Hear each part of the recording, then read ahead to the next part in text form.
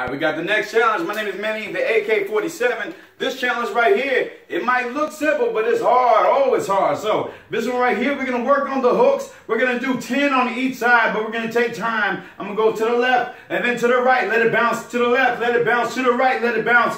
And then the whole point is this ball is going to change directions on me from left to right. So I have to maintain my focus, maintain visual eye contact, learning exactly where that ball is going to land. I'm not going to hit where the ball is. I'm going to hit where the ball is going to be. Just like your opponent, when they're moving ahead, you don't aim for where they are. You aim for where they're going to be.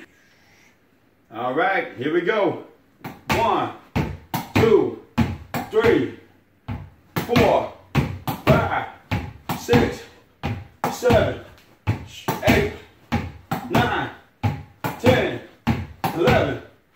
12, 13, 14, 15, that still counts, 16, 17, 18, 19, 20.